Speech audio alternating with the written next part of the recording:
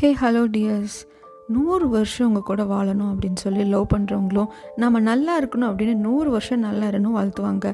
But அதெல்லாம் வாழ்த்து மட்டும்தான் நூறு வருஷம் யாராவது வாழ்ந்துருக்காங்களா? அப்படியே வாழ்ந்தாலும் கடைசி இருபது முப்பது வருஷம் ரொம்ப வயசாகி போய் நடக்க முடியாமல் பெட் ரெஸ்ட் இப்படி தான் இருக்கும். ஆனால் நூறு வருஷம் இதே இளமையோட நாம் ஆசைப்பட்ட காதலோட வாழ முடியுமா?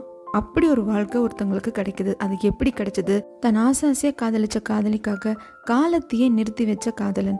இந்த மாதிரியான ஒரு ஸ்டோரியை உங்களுக்கு சொல்கிறதுக்கு தான் இன்றைக்கி நான் வந்திருக்கேன். இப்போ வாங்க டைம் வேஸ்ட் பண்ணாமல் கதைக்குள்ளே போயிடலாம். இது ஒரு ஜாப்பனீஸ் மூவி மூவியோட name the hundred love with you இந்த கதையோட ஆரம்பத்தில் ஒரு குட்டி பொண்ணு உட்காந்துக்கிட்டு கையில் உடஞ்சி போன இந்த கிராமஃபோனுக்குள்ள யூஸ் பண்ணுவாங்க இல்லைங்களோ ஒரு ரெக்கார்டர் ரவுண்டாக தட்டு மாதிரி இருக்கும் இல்லையா? அதை வச்சுட்டு ஃபீல் பண்ணிட்டு இருக்கா? அவகிட்ட ஒரு குட்டி பையன் கிட்ட தோளில் மாட்டிட்டு வந்து நிற்கிறான் என்னால் அதை ஃபிக்ஸ் பண்ண முடியும்னு சொல்கிறா இப்படியே கதை வந்து ப்ரெசண்ட்டுக்கு வருது? அதாவது இந்த குட்டியாக இருக்கிறாங்க இல்லையா? இவங்க தான் ஹீரோன் ஹீரோயின் வளர்ந்துட்டாங்க. ஹீரோயின் இப்போ காலேஜில் படிச்சுட்டு இருக்கா? ஹீரோயினோட பேர் ஹீனா. ஹீரோவோட பேர் ரியாஸ். ஹீரோயின் தூங்கி எழுந்திருக்கிறாங்க இல்லைங்களா? இந்த சீனை நல்லா பார்த்துக்கோங்க. தூங்கி எழுந்திரிச்சா பரவாயில்ல. பட் சார் பக்கத்தில் நிற்கிறது கூட தெரியாமல் தூங்கிட்டு இருக்கா? ரொம்ப கேவலமாக போச்சுடி அப்படின்னு சொல்லிட்டு ஃப்ரெண்ட்ஸ் கூட எல்லாம் பேசிக்கிட்டே ஹீனா வந்துட்டு இருக்கா? ஹினாக்கு இங்கிலீஷ் படிக்கணும் அது அப்ராட் போய் படிக்கணுங்கிறதுக்கு ஆசை இங்கிலாண்டில் போய் படிக்கிறதுக்கான எல்லா ஏற்பாடும் பண்ணிட்டு இருக்கா அவளுக்கு ஸ்காலர்ஷிப் எல்லாம் கூட கிடச்சிருச்சு.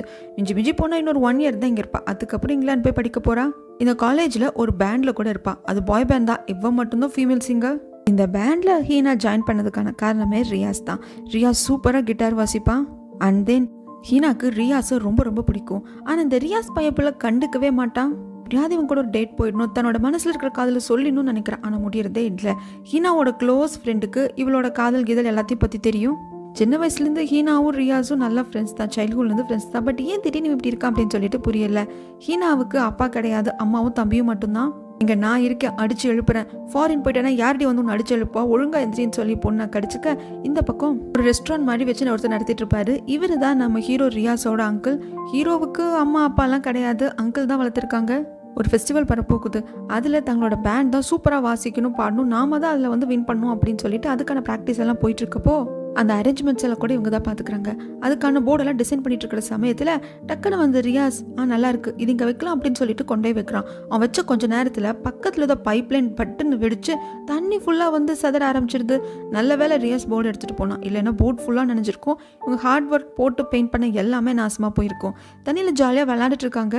அடுத்த நாள் காலேஜுக்கு வர சமயத்தில் தான் ரியாஸ் வேற ஒரு பொண்ணுக்கிட்ட பேசுகிறத பார்க்குறாங்க அந்த பொண்ணு இவங்களோட ஏஜ் குரூப் கிடையாது. இவங்களை விட சீனியர் ஒருவேளை அவனுக்கு தன்னை விட சீனியராக இருக்கிற பொண்ணுங்களை தான் பிடிச்சிருக்க போல இருக்குது அப்படின்னு சொல்ல இது கொஞ்சம் ஹீனாக்கு மனசு பாதிச்சிருது. பட் இருந்தாலும் பரவாயில்ல அதுதான் அவனுக்கு பிடிச்சிருக்குன்னா அவனுக்கு நல்லதுன்னு பட்டுச்சுன்னா அவன் அப்படியே இருக்கட்டுமே அப்படின்னு சொல்லிடுறாங்க. இப்படி ரியாஸுக்கு ஹீனா மேலே இன்ட்ரெஸ்ட் இல்லை அப்படிங்கிறது தெரிஞ்சதும் ரியாஸுக்கு ஒரு ஃப்ரெண்டு இருப்பான். அவன் ஹீனாக்கும் ஃப்ரெண்டு தான். எல்லாருமே வந்துட்டு அந்த பேண்ட் மூலியமாக ஃப்ரெண்ட் ஆனவங்க தான். அவன் வந்து ரியாஸ் கிட்ட கேட்குறான் ஏண்டா உனக்கு ஒரு வேளை ஹீனாவை பிடிக்கல அப்படின்னா நான் வேணால் ப்ரப்போஸ் பண்ணட்டுமா? எனக்கு அவளை பிடிச்சிருக்கு அப்படின்னு சொல்லி கேட்குறதுக்கு இவனும் ஓகேன்னு சொல்லிடுறான். இது இவன் எதிர்பார்க்கல.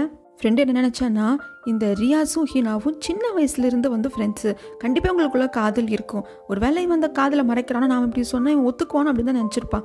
பட் இல்லை போடா போய் ப்ரப்போஸ் பண்ணிக்கோ அப்படின்னு சொன்னது பயங்கர குஷியில் வரான். இந்த இடத்துல நம்ம ஹீரோ மட்டும் இல்லை மற்றபடி நாலு ஃப்ரெண்ட்ஸும் இருக்காங்க.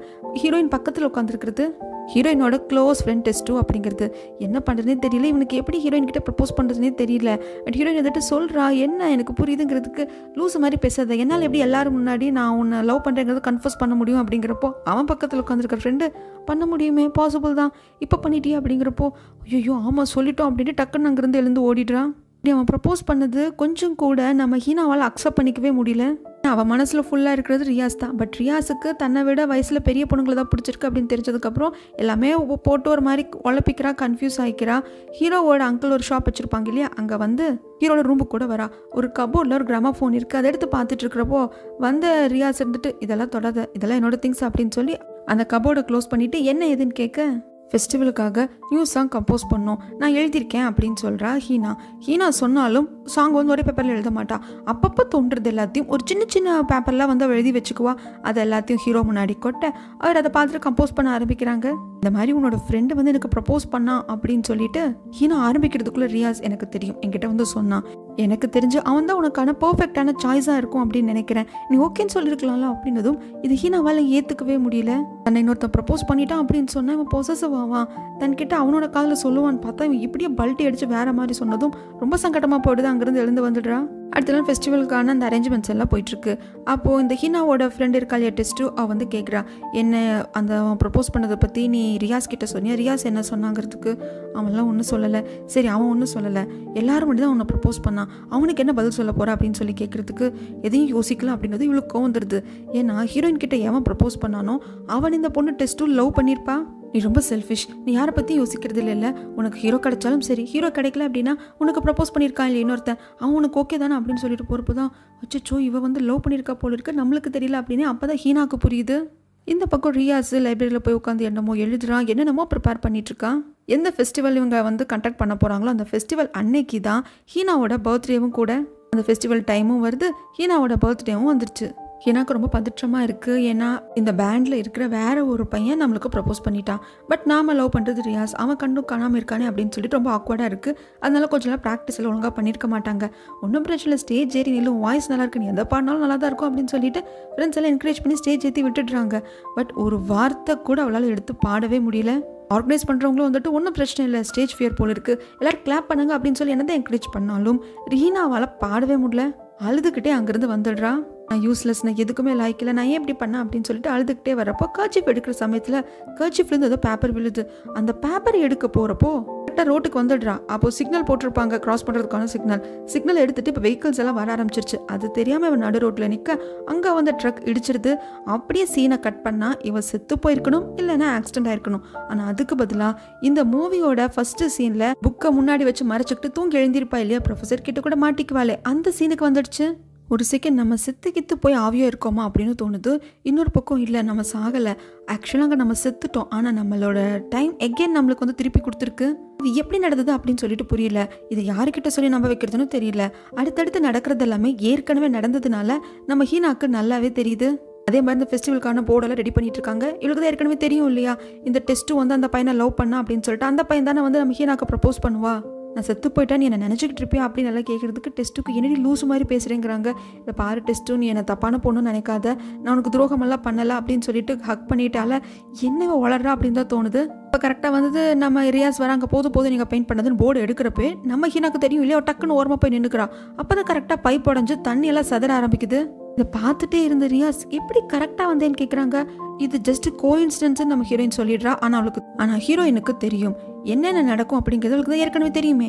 ஆனால் மற்ற ஃப்ரெண்ட்ஸ்லாம் டவுட்டாக பார்க்குறாங்க எனக்கு என்னமோ நீ காசு கொடுத்து பைப்பைக்கு இப்போ உடைக்க சொன்னியா? அப்படின்னு கேட்குறாங்க இல்லை இதெல்லாம் எனக்கு ஏற்கனவே தெரியும். ஏற்கனவே இதெல்லாம் நடந்திருக்கு. எனக்கு தெரியும். நான் எகெயின் இதை வந்து ஒரு நாள் வாழ்ந்துட்டுருக்கேன் அப்படின்னு சொல்கிறப்போ ஃப்ரெண்ட்ஸ் யாரும் நம்புறது இல்லை. பொய் சொல்லாத அப்படிங்கிறப்போ ஈனாக்க கோவம் வந்துட்டு தனியாக போய் உட்காந்துக்கிறா?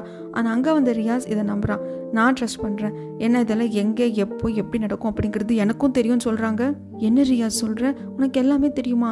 அப்போ நான் செத்து போயிட்டேன் அப்படிங்கிறதுக்கு நீ சாக மாட்டா அப்படின்னு சொல்லிட்டு இந்த ரூமுக்கு கூப்பிட்டு வரான். ஃபஸ்ட்டு டைம் இந்த ரூமுக்கு வந்தப்போ கபோர்டை ஓப்பன் பண்ணி அங்கே இருக்கிற கிராம ஃபோனை பார்த்துருப்பா இல்லையா? அப்போ கூட டச் பண்ணாத அப்படின்னு சொல்லிட்டு ரியா சொல்லியிருப்பான் பட் இந்த முறை இதுதான். இதுதான் எல்லாத்துக்கும் காரணம். இதை ப்ளே பண்ணுறதன் மூலியமாக உன்னால் டைமை பேக்வேர்ட் கொண்டு போக முடியும். இதன் மூலிமா தான் நான் எல்லாம் பண்ணேன் அப்படிங்கிறதுக்கு இப்போவும் கூட ஹீனாக்கு நம்ப முடியல. அப்போ தான் குட்டி வயசு ரியாஸை காட்டுறாங்க. அவங்க அங்கிள் ஷாப்லாம் எதையும் தேடிட்டுருக்கிறப்போ இந்த ரெக்கார்டர் கிடச்சிருக்கும். இந்த ரெக்கார்டர் அவன் எடுக்கிறப்போ அங்கிள் வந்துட்டு இதை பாருடா இது ரொம்ப ஸ்பெஷலான ரெக்கார்டர் நீ கரெக்டாக இதை ஹேண்டில் பண்ணுவ. இதை பத்திரமா வச்சுக்குவ அப்படின்னு சொன்னால் மட்டும் இதை எப்படி ப்ளே பண்ணுறது ஹேண்டில் பண்ணுறது நான் சொல்லித்தரேன் அப்படின்னு சொல்லியிருப்பாரு. அந்த சின்ன வயசில் ரியாஸ்க்கு இது பெருசாக தெரியல. எக்ஸைட்மெண்ட்டில் ஸ்பெஷல் ரெக்கார்டரா எனக்கு சொல்லிக் கொடுங்க அங்கிள் அப்படின்னு சொல்லியிருப்பாங்க. இது எல்லாத்தையும் இப்போ ஹீனா கிட்டே சொல்கிறான் ஆனால் ஹீனா நம்புற மாதிரி இல்லை. அப்போ தான் ஹீனாவோட கையவே பிடிச்சி இந்த ரெக்கார்டரில் இந்த பின்னை நீ இப்படி வச்ச அப்படின்னா நீ நினச்ச டைமுக்கு போகலாம் எந்த ஸ்பீடில் எந்த லிமிட்டில் வைக்கிறேன் இருக்குது அப்படின்னு சொல்லிட்டு இவங்க ரெண்டு பேரும் ஒன்றா தான் அந்த பின்னை செட் பண்ணுறாங்க எகெயின் இப்போ ஹீரோயின் கிளாஸில் தூங்கி தான் எந்திரிக்கிறாங்க. அவங்களுக்கு புரிஞ்சிருச்சு.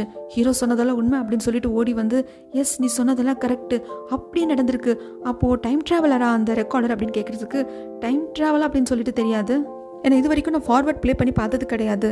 முன்னோக்கி நான் போனதே இல்லை. பேக்வேர்ட் தான் வந்திருக்கேன் அப்படின்னு சொல்கிறாங்க ஏன் எதுக்காக பேக்வேர்ட் மட்டும் போனா அப்படின்னு கேட்குறாங்க ஹீரோயின் ஹீரோ பதில் சொல்கிறதுக்கு முன்னாடி அதுக்கான பதில் இவங்களுக்கு தெரிஞ்சிருது. ஏன்னா ஹீரோயின் அந்த ஃபெஸ்டிவல் முடிகிற டைம்லேயே செத்து போயிடுவாங்க. அது நடக்கக்கூடாதுங்கிறதுக்காக தான் இவர் ஒவ்வொரு முறையும் அந்த ரெக்கார்டரை ப்ளே பண்ணி பேக்வேர்ட் வந்துட்டுருக்காரு. காலத்தை பின்னோக்கி கொண்டு போய் எகேன் அந்த லைஃப்பை வாழ்ந்துட்டுருக்கான் அப்படிங்கிறது ஹீரோயினுக்கு புரிஞ்சிருது.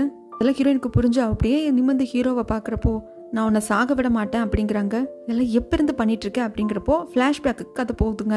உண்மையிலேயே இந்த மூவியோட ஸ்டார்டிங் சீனில் ரெண்டு குட்டி பசங்களை பார்த்துருப்போம். ஒன்று ஹீரோ ஹீரோயின்கிறது நம்மளுக்கு தெரியும். ஹீரோயின் கையில் ரெக்கார்டர் இருக்கும். அது உடஞ்சு போயிருக்கும். அவங்க அப்பா இறந்து போயிட்டாரு. அவர் கொடுத்த ரெக்கார்டர் இது. இது எப்படி ஃபிக்ஸ் பண்ணுறதுன்னு தெரியாது. இந்த பக்கம் கொண்டு வந்து அங்கிள் கிட்ட கொடுக்குறாங்க. ஏன்னா அவர் ஜஸ்ட் ரெஸ்டாரண்ட் மட்டும் கிடையாது. இந்த மாதிரி ரெக்கார்டர்ஸ் இது எல்லாத்தையும் வந்து ரிப்பேர் பண்ணக்கூடியவர் தான். பட் இது ரொம்ப உடஞ்சிருச்சுமா? ரிப்பேர் பண்ண முடியுமான்னு தெரியல. ஃபிக்ஸ் பண்ணுறதுக்கு பாசிபிள் இல்லைடா பாப்பா அப்படின்னு சொல்லிக்கிட்டே இருக்கிறப்போ அங்கே குட்டி பையனாக இருந்த ஹீரோ இது எல்லாத்தையும் பார்த்துட்டு இருப்பாங்க இதுக்கெல்லாம் முன்னாடியே அந்த ஸ்பெஷல் ரெக்கார்டரை பற்றியும் இதை பேக்வேர்டாக கொண்டு போக முடியும் நம்மளோட காலத்தையே பின்னோக்கி கொண்டு போக முடியும் அப்படிங்கிறது அங்கிள் எல்லாமே குட்டி ஹீரோ கிட்ட சொல்லி கொடுத்துருப்பாங்க. இப்படி தாப்பா இறந்து போய் கடைசி ஞாபகமாக இருக்கிற ரெக்கார்டர் உடஞ்சு போய் அதை ஃபிக்ஸ் பண்ணவும் முடியாமல் நிற்கிற அந்த குட்டி பொண்ணை பார்த்த நம்ம குட்டி ஹீரோக்கு ரொம்ப பிடிச்சி போயிருக்கும். அதனால அந்த பாட்டை எகேன் தானே ப்ளே பண்ணி காட்டணும்னு ஆசைப்பட்டிருப்பாங்க. தங்கள் கிட்ட வந்து நான் கிட்டார் வாசிக்க கற்றுக்கணும் அப்படின்னு சொல்ல அதுக்கு எவ்வளோ நாள் ஆகும்னு கேட்டிருப்பாங்க? நாளால இல்லப்பா மாசக்கணக்கில் ஆகணும் சொல்லியிருப்பாரு. சரி எனக்கு வந்து சொல்லிக் கொடுங்க அப்படிங்கிறப்போ ஃபர்ஸ்ட் ஆரம்பிக்கிறப்போ கரெக்ட் இப்படி தான் ஆரம்பத்தில் எல்லாரும் இப்படி தான் வந்து வாசிக்க ஆரம்பிப்பாங்க அப்படிங்கிறப்போ கஸ்டமர்ஸ் எல்லாம் வந்துடுறாங்க. அதுக்கு மேலே சொல்லிக் கொடுக்க முடியறதில்ல. பட் நம்ம குட்டி ஹீரோ ஒவ்வொரு வாட்டியும் அந்த ரெக்கார்டரை ப்ளே பண்ணி டைமை வந்து பின்னாடி கொண்டு வந்து குட்டி ஹீரோயினோட பர்த்டே டைமில் தான் அந்த ரெக்கார்டர் உடஞ்சி போயிருக்கும். அவங்க அந்த பெஞ்சில் சோகமாக உட்காந்துருப்பாங்க அந்த டைம்குள்ளே எப்படியாவது நம்ம வாசிக்க கற்றுக்கணும் அப்படின்னு சொல்லிட்டு வாசிக்க ஆரம்பிச்சிருவாங்க. பட் அங்கிளை பொறுத்த வரைக்கும் இவன் இப்போ தான் ஃபஸ்ட் டைம் வரான். இந்த மாதிரி கிட்டார் வாசிக்க சொல்லிக் கொடுக்க சொல்கிறான்னு நினைப்பாங்க. கடைசியில் பரவாயில்லையடா ஃபஸ்ட் டைம் நீ சூப்பராக வாசிக்கிறியே அப்படின்னு சொல்ல அப்போ தான் அங்கிளுக்கு புரியுது டே திருட்டு பையிலே அப்போ அந்த ரெக்கார்டரை யூஸ் பண்ணியா? அப்படின்னு சொல்லிட்டு கேட்க ஆமான்னு சிரிக்க அதுக்கப்புறம் குட்டி ஹீரோயினை பார்க்க வராங்க? அவங்க பர்த்டே தான் இன்றைக்கு அந்த ரெக்கார்டு உடஞ்சி போயிருக்கும். அவங்க அப்பா இறந்து போனாங்க கடைசி கிஃப்ட் அப்படின்னு சொல்லிட்டு சோகமாக உட்காந்துட்டு இருக்கப்போ என்னால் ஃபிக்ஸ் பண்ண முடியும்னு சொல்லிட்டு குட்டி ஹீரோ வந்து நிற்பாங்க இந்த குட்டி பாப்பா ஒன்றுமே புரிய திரு திருன்னு பார்த்துக்கிட்டே இருக்கிறப்போ ஒரு சின்ன குச்சியை கொடுப்பான் அந்த உடஞ்ச ரெக்கார்டரை சேர்த்து வச்சு அதுக்கு மேலே அதை வைக்க சொல்ல இந்த பொண்ணு வைக்கும். அது ப்ளே ஆகாது. அதுக்கு பதிலாக இவன் கிட்டார ப்ளே பண்ணுவான். அந்த பாட்டை இந்த ரெக்கார்டில் எந்த பாட்டு இருக்குமோ அதை அப்படியே அவன் ப்ளே பண்ண இது வந்து குட்டி ஹீரோயினுக்கு ரொம்ப பிடிச்சி போயிடும். இதுக்கப்புறம் இவங்களோட நட்பும் வளர்ந்துருக்கும். நட்போட சேர்ந்து இவங்களும் வளர்ந்துருப்பாங்க. அதுக்கப்புறம் வர ஒவ்வொரு ஹீரோயினோட பர்த்டேக்கும் இவர் சூப்பராக கிஃப்ட் கொடுத்துட்ருப்பாங்க அப்படி தான் சிக்ஸ்டீன்த் பர்த்டே ஹீரோயினுக்கு ஒரு ஸ்பெஷல் கிஃப்ட் கொடுக்கணும்னு முடிவு பண்ணிட்டாங்க.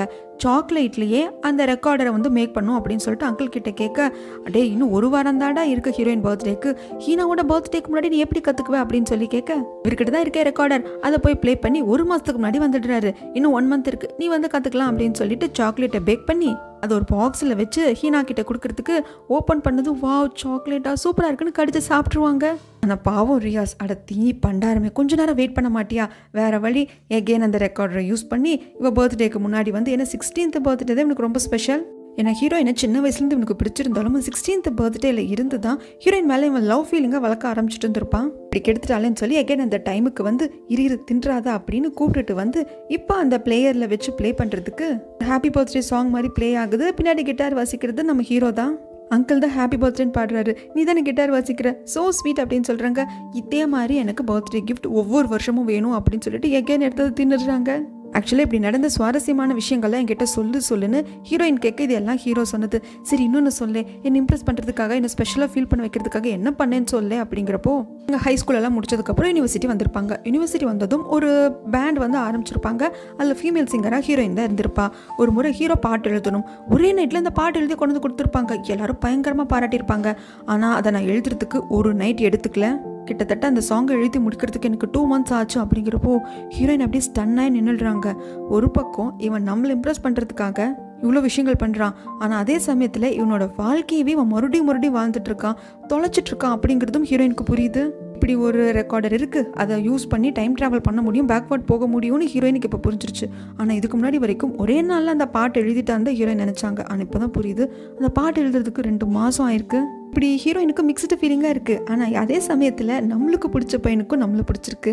நம்மளுக்காக அவன் ஸ்பெஷலாக இவ்வளோ விஷயம் பண்ணியிருக்கான் அப்படிங்கிறப்போ ரொம்ப ஹாப்பியாக இருக்குது எல்லாம் ஓகே பட் என்னை காதலிக்காத மாதிரியும் என்னை பிடிக்காத மாதிரியும் ஏன் நடித்தேன் அப்படிங்கிறதுக்கு உன்னோட நைன்டீன்த் பர்த்டேவை நீ செலிப்ரேட் பண்ணதுக்கப்புறம் நீ இறந்து போயிடுவேன் அது நடக்கக்கூடாது அப்படிங்கிறதுக்காக நான் போராடினேன். அதனால தான் உன்கிட்ட என்னால் பெருசாக டைம் ஸ்பெண்ட் பண்ண முடியல.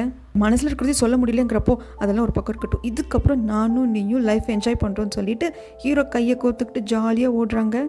நாளைக்கு என்ன நடக்கும் அப்படிங்கிறத நாளைக்கு பார்த்துக்கலாம். இன்றைக்கி நானும் நியூ லவ்வர்ஸ் எனக்காக எவ்வளோ பர்த்டே செலிப்ரேட் பண்ணியிருப்பேன் எவ்வளோ வாட்டி பேக்வேர்ட் பேக்வேர்ட் போயிருப்பேன்? எனக்காக எவ்வளோ பண்ணியிருப்பேன் இதுக்கப்புறமாக்கா எல்லாத்தையும் மறந்துட்டு நம்ம ஹாப்பியாக இருக்க போகிறோம் அப்படின்னு சொல்லிட்டு ரொம்ப ஹாப்பியாக இருக்காங்க. ஹீரோயின்காக இவர் இவ்வளோ வாட்டி டைம் ட்ராவல் பண்ணி பேக்வேர்ட் வந்திருப்பாரு. ஆனால் ஒரு வாட்டி கூட ஹீரோயின் கிட்ட ப்ரப்போஸ் பண்ணியிருக்க மாட்டாங்க.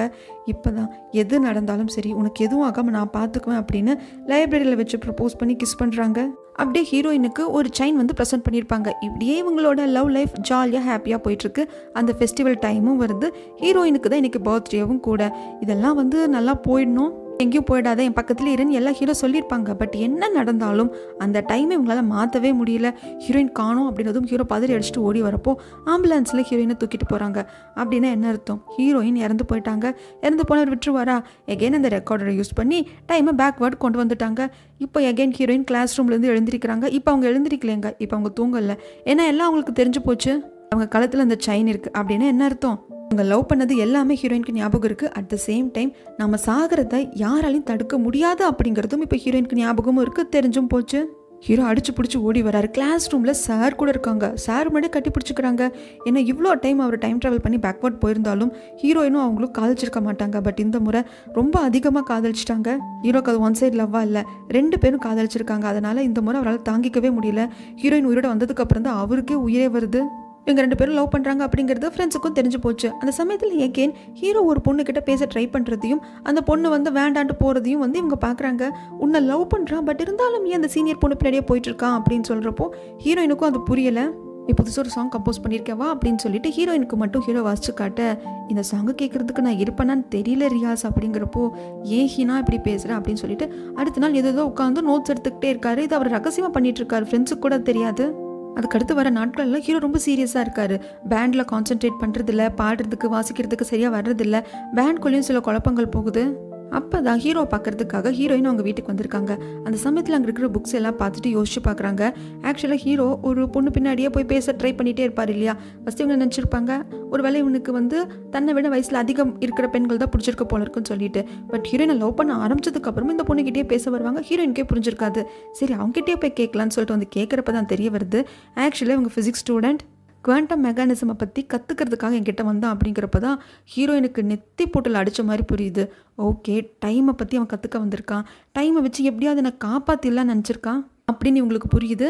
அப்போ அந்த சீனியர் பொண்ணு சொல்கிறா ஆக்சுவலாக உனக்கு இருபது வயசு தான் ஆச்சு. ஒவ்வொரு வாட்டியும் என்கிட்ட வந்து இதை தான் கேட்குறான் நான் படித்ததை விட அவன் அதிகமாக தெரிஞ்சு வச்சிருக்கான். இது அவனோட மேஜரும் கிடையாது. பட் எதுக்காக வந்தானோ எனக்கு தெரியல. அவன் கேட்குறது அவன் சில சொல்கிற விஷயங்கள் கூட எனக்கே புதுசாக இருக்குது ஃபிசிக்ஸ் படிக்கிற ஸ்டூடெண்ட்டான எனக்கே புதுசாக இருக்குன்னா பார்த்துக்கோ பட் அவன் ரொம்ப ஹார்ட் ஒர்க் பண்ணுறான் லாஸ்ட் ஒன் மந்தில் அவன் கற்றுக்கிட்டது இந்த மூணு வருஷம் நான் கற்றுக்கிட்டதை விட அதிகம் அப்படிங்கிறப்போ அது நம்ம ஹீனாக்கு புரியுது. ஒன் மந்த்தாக தான் இவங்களுக்கு அவனை தெரியும் வந்து கேட்குறாங்க ஃபிசிக்ஸை பற்றி கேட்குறாங்க குவாண்டம் மெக்கானிசம் பற்றி கேட்குறாங்க அப்படிங்கிறது. பட் அது பல வருஷங்கள் அப்படிங்கிறது நம்ம ஹீரோயினுக்கு தெரியும். ஏன்னா அவன் ஒவ்வொரு டைம் பேக்வேர்ட் பண்ணியிருக்கான் அப்படிங்கிறது. இப்படி இந்த சீனியர் பொண்ணுக்கிட்ட பேசினதுக்கு அப்புறமாக ஹீரோவோட கிளாஸ் ட்ராவை ஓப்பன் பண்ணி அங்கே புக்கெல்லாம் எடுத்து பார்க்குறப்போ ஒவ்வொரு டைமும் ஹீரோயின் செத்த டைமை கால்குலேட் பண்ணி எழுதி வச்சுருப்பான். ஒவ்வொரு டைமும் அது நடக்கக்கூடாதுன்னு தான் ஹீரோ நினச்சிருப்பான். பட் அவனையும் மீறி அது நடந்துட்டு தான் இருக்கும். அந்த நோட்டு ஃபுல்லாக ஹீரோயின் செத்த டைம் தான் இருக்குது அதை தன்னால் தடுக்க முடியலையே அப்படிங்கிற அவனோட கஷ்டமும் இருக்குது அதை பார்க்குறப்ப ஹீரோயினுக்கு புரிஞ்சிருது. எவ்வளோ வாட்டி இவன் பேக்வேர்ட் போயிருக்கான்னு சொல்லி? இப்படி என்ன பண்ணியும் ஹீரோயினோட இறப்பை தடுக்க முடியல அப்படின்னு சொல்லி ஃபீல் பண்ணிகிட்டே இருக்கிறப்போ அங்கிள் வந்து என்ன ஏதுன்னு கேட்குறதுக்கு அங்கிள் கிட்ட எல்லாத்தையும் சொல்கிறாங்க நம்ம கையில் காலமே இருந்தாலும் அந்த காலத்தை நம்மளால் கட்டி ஆள முடியாதுடா. நீ எப்படி ஹீனாக்காக தவிக்கிறியோ அதே மாதிரி தான் உங்கள் ஆன்ட்டி காப்பாற்ற நானும் தவிச்சேன் போராடினேன். கடைசியில் அவள் அக்செப்ட் பண்ணிக்கிட்டா நானும் அக்செப்ட் பண்ணிக்கிட்டேன். என்னதான் பண்ணாலும் காலத்தை நம்மளால் மாற்ற முடியாது. நடக்கணும்னு இருக்கிற விதியை நம்மளால் மாற்ற முடியாதுன்னு சொல்லி அக்செப்ட் பண்ணிக்கிட்டோம். இதுக்கப்புறம் உன்னோட இஷ்டம். அக்செப்ட் பண்ணிட்டு வாழுன்னு சொல்கிறதுக்கு எனக்கு ரைட்ஸும் இல்லை. நான் பண்ண நீயும் அதை பண்ணுன்னு சொல்கிறதுக்கும் எனக்கு ரைட்ஸ் இல்லை. உன் விருப்பம் அப்படின்னு சொல்லிடுவாங்க. இது எல்லாத்தையும் ஹீரோயின் கூட கேட்டுருவாங்க. ஹீரோயினுக்கு ரொம்ப கஷ்டமாக இருக்கும். நாம் ஒரு டைம் செத்து போயிட்டோம். அதை அவன் விட்டு அவன் வாழ்க்கையை பார்த்துட்டு போயிருக்கலாம். பட் நம்மளை காப்பாற்றுறதுக்காக எவ்வளோ வருஷமே அவன் பேக்வேர்ட் வந்துக்கிட்டே இருக்கான். எங்களுக்கெல்லாம் நாங்கள் அந்த நாளை அன்னைக்கு தான் வாழ்கிறோன்னு தோணுது. ஆனால் வாழ்ந்த நாளே எவ்வளோ வருஷம் அவன் வாழ்ந்திருப்பான் அப்படின்னு சொல்லிட்டு ரொம்ப கஷ்டப்படுறாங்க. அவங்களால சரியாக கான்சென்ட்ரேட் பண்ண முடியல படிக்க முடியல ஃபேமிலியோட அம்மாவோட தம்பியோட பேச முடியல. ஒரு நாள் ஹீரோவோட வீட்டுக்கு வந்து அப்படியே சோகமாக உட்காந்துருக்காங்க ஹீரோ அவங்களுக்காக கிட்டார் வாசிச்சுக்கிட்டே இருக்கிறப்போ இதுக்காக இதெல்லாம் பண்ணிட்டு இருக்க ரியாஸ்? போதும். என்னை வாழ வைக்கணுங்கிறதுக்காக எவ்வளோ வாட்டி நீ பண்ணுவ இதை எவ்வளோ வாட்டி நான் செத்ததை நீ பார்த்துருக்க அப்படிங்கிறதும் அப்படியே வந்து ஒரு மாதிரி ஆயிடுது ரியாஸுக்கு என்ன சொல்கிற அதெல்லாம் ஒன்றும் இல்லை. இது எப்படி இருந்தாலும் மாற்றிடலாம் நம்மக்கிட்ட தான் இருக்குல்ல. நம்மளுக்கு வேணுங்கிற டைமுக்கு போகலாம் நம்ம ஜாலியாக என்ஜாய் பண்ணலாம். வா இங்கே வா என் கூட. எங்கே போகலாம் நம்ம ஸ்கூல் டைமுக்கு போகலாமா நாம் வந்து நூடுல்ஸ் சாப்பிடுவோமே. ஃப்ரைடே நூடுல்ஸ் உனக்கு கூட பிடிக்குமே அந்த டைமுக்கு போகலாமா அப்படின்னு சொல்லிட்டு வந்து வா நம்ம ரெண்டு பேருமே போகலாம் அப்படின்னு சொல்லி அந்த ரெக்கார்டர் இருக்கக்கூடிய அந்த கபோர்ட் ஓப்பன் பண்ணி வா நீயே வந்து ஆப்ரேட் பண்ண அப்படின்னு சொல்கிறதுக்கு ஹீரோயின் இல்லை எனக்கு வேண்டாம் அப்படின்னு சொல்லிட்டு ஒரு செகண்ட் கூட யோசிக்க மாட்டாங்க. டக்குன்னு அந்த ரெக்கார்டரை எடுத்து உடச்சி போட்டுருவாங்க.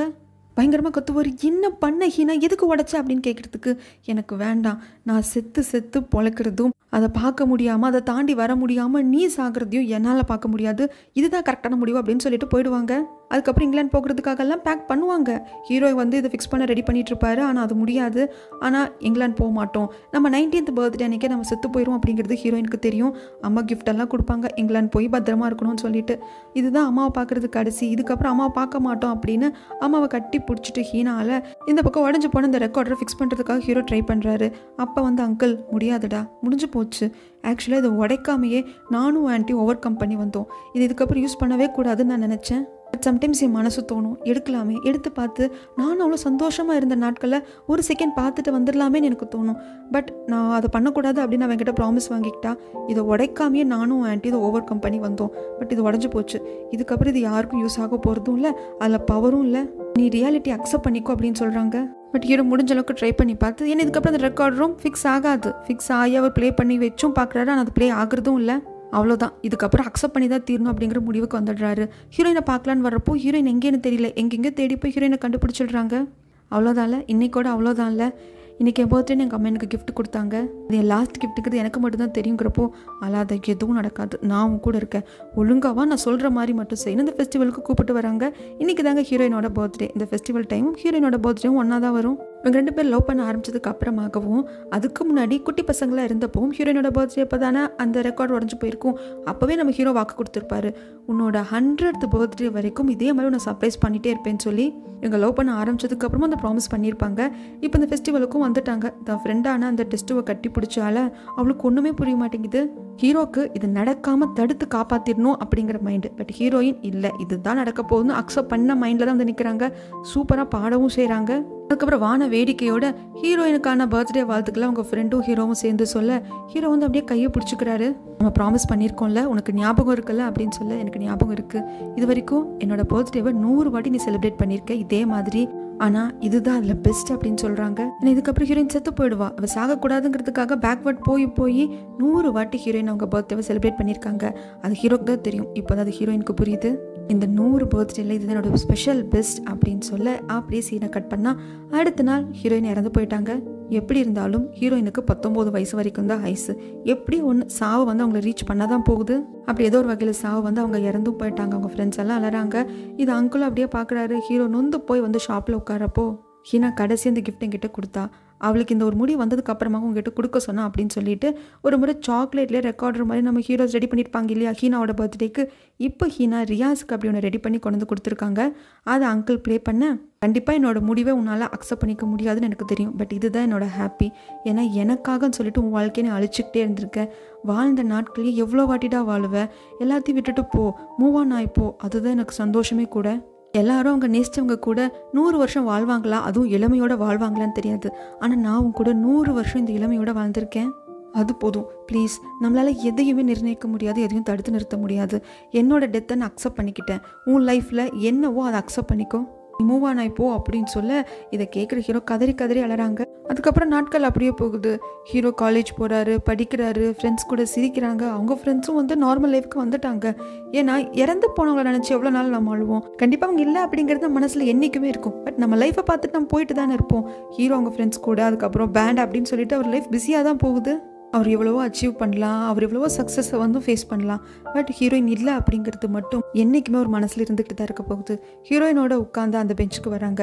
சின்ன வயசில் ஹீரோயின் இங்கே தான் அந்த ரெக்கார்டர் உடஞ்சி போச்சு. எங்கள் அப்பாவோட கடைசி கிஃப்ட்னு சொல்லி ஃபீல் பண்ணி உட்காந்துருப்பா அங்கே ஆரம்பித்தவங்களோட இவங்களோட நட்பு காதலா மாதிரி அவளுக்காக பல வாட்டி இதே வாழ்க்கையை மறுபடியும் மறுபடியும் வாழ்ந்து அவளை காப்பாற்ற முடியாமல் இருந்தாலும் அவள் நினைவுகளோட இதுக்கப்புறம் வாழ போகிற இந்த ஹீரோவோட இந்த ரியாஸோட இந்த அழகான காதல் நினைவுகளோடவே இந்த படத்தோட கதை இங்கே அப்படியே முடியுதுங்க. ஸ்டோரி எப்படி இருந்தது அப்படின்னு சொல்லுங்கள் எப்படி நீங்கள் ஃபீல் பண்ணீங்க அப்படிங்கிறதையும் மறக்காமல் கமெண்ட் பண்ணுங்கள் உங்கள் ஃப்ரெண்ட்ஸ் அண்ட் ஃபேமிலி கூட ஷேர் பண்ணிக்கோங்க லைக் பண்ணுங்கள் சப்ஸ்கிரைப் பண்ணுங்கள் ஒரு ஃப்ளோலையே வாழ்க்கையில் போயிட்டு நல்லது. எதையாவது மாற்றணும்னு நினச்சோன்னு வைங்க. அவ்வளோதான் எதையும் மாற்ற வேண்டாம். அது எப்படி இருக்கோ அப்படி அப்படியே இருக்கட்டும். சில விஷயங்களை ஏற்றுக்கிட்டா தான் மாற்றம் நிகழுமா? எங்கேயோ படித்த ஞாபகம். அடுத்து இதே மாதிரி ஒரு சூப்பரான மூவியோட வந்து உங்களை மீட் பண்ணுறேன் டியாஸ் தேங்க்யூ பாய்